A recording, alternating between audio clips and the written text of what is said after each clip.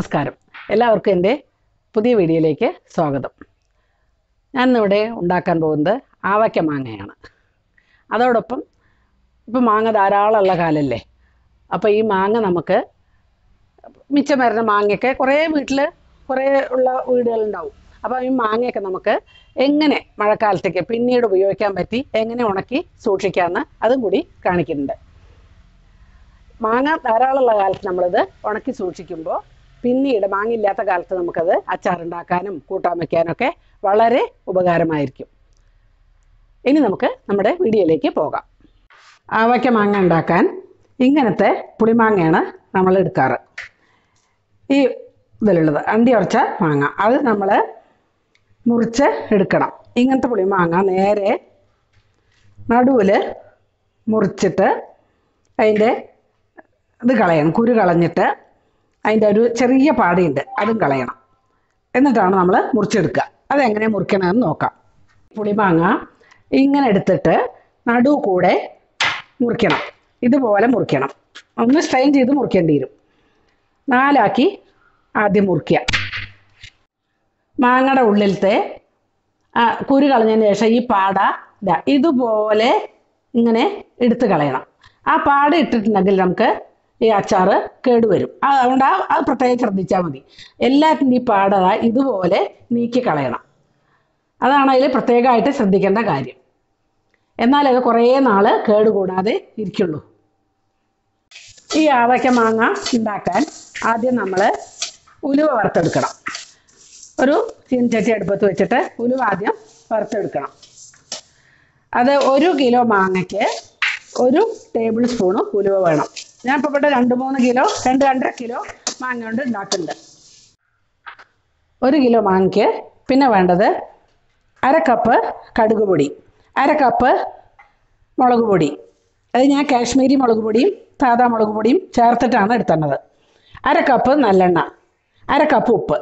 പക്ഷേ ഞാനിവിടെ രണ്ട് കിലോ കൊണ്ട് ഉണ്ടാക്കണതുകൊണ്ട് എല്ലാം ഓരോ കപ്പാണ് എടുത്തേണ്ടത് ഞാൻ ഒരു കിലോന്റെ കണക്കാണ് ആദ്യം പറഞ്ഞത്. ഇതിപ്പോൾ എല്ലാം ഞാൻ രണ്ട് കിലോന്റെ മാങ്ങ നുറുക്കിയതിന് ഉണ്ടാക്കുക ഒരു പാത്രം എടുത്തിട്ട് അതിലേക്ക് ആദ്യം മുളക് പൊടി ഇട്ട് കൊടുക്കാം. രണ്ട് മുളക് പൊടി ചേർത്തിട്ടാണ് ഇട്ടുന്നത്. അപ്പോൾ എരിയും കിട്ടും ടേസ്റ്റും ഉണ്ടാവും. ഇനി കടുക് പൊടി ഒരു കപ്പ്. ഇനി അതിലേക്ക് ഉപ്പിട്ട് കൊടുക്കാം. ഇനി ഉലുവപ്പൊടി ഉലുവപ്പൊടിയും ഇട്ട് കൊടുക്കാം. എന്നിട്ട് അത് നല്ലപോലെ ഇളക്കി യോജിപ്പിച്ചെടുക്കണം. ആദ്യം ഇത് നല്ലപോലെ ഇളക്കി യോജിപ്പിക്കണം. എന്നിട്ടാണ് നമ്മൾ നമ്മളതിലേക്ക് മാങ്ങ ഇട്ട് കൊടുക്കുക. ഇപ്പം ഈ ചേരുവകളൊക്കെ അതിൽ മസാലയൊക്കെ നല്ലപോലെ യോജിപ്പിച്ചെടുത്തിട്ടുണ്ട്. ഇനി അതിലേക്ക് നമുക്ക് ഈ മാങ്ങ ഇട്ട് കൊടുക്കാം. മാങ്ങ ഇട്ട് കൊടുത്തിട്ട് ഇതുപോലെ നല്ല പോലെ ഇളക്കി കുറേശ്ശെ കുറേശ്ശെ ഇട്ടിട്ട് നല്ല പോലെ ഇളക്കി യോജിപ്പിച്ച് എടുക്കണം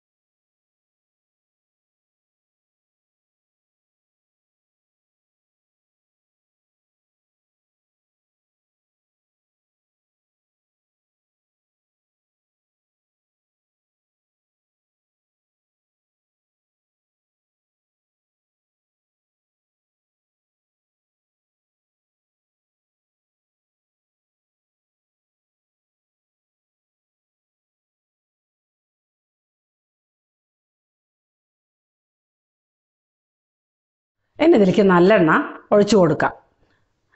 നല്ലെണ്ണ ഒഴിച്ചു കൊടുത്തിട്ട് നല്ല പോലെ ഇളക്കണം പോരാ തോന്നുകയാണെങ്കിൽ ഒരു കാൽ കപ്പും കൂടി ഒഴിച്ചു കൊടുക്കാം. ഇനി ഇതുപോലെ നല്ല പോലെ ഇളക്കണം. ഈ ആവയ്ക്ക മാങ്ങ തന്നെ പല തരത്തിൽ ഉണ്ടാക്കും. പല രീതിയിൽ ഇതിപ്പോൾ ഉണ്ടാക്കണ ഒരു രീതിയാണ് ഇത്.